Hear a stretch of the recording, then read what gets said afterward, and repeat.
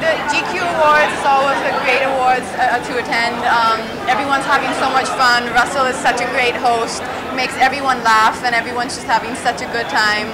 Um, the award that I got tonight was fantastic. I think uh, this year has been a really special year for me uh, with Bharat, and um, the way the film was received, I think it was absolutely fantastic. And um, it's it's always lovely to be here and get a chance to interact with everyone. And um, Jay and the whole team of, uh, of GQ are dear friends, and I, it's great to be here and just kind of be with everyone for the evening. You know, I think the best qualities to me that GQ stands for is um, they celebrate individuality and they celebrate the uniqueness in everyone, and I think that's what's that's what's really attractive in a man is someone who um, accepts who they are, someone who's not trying to be anyone else, have any pretenses, but someone who is comfortable in their own skin, um, someone who has um, who has someone who has integrity, someone who has charm, who has wit.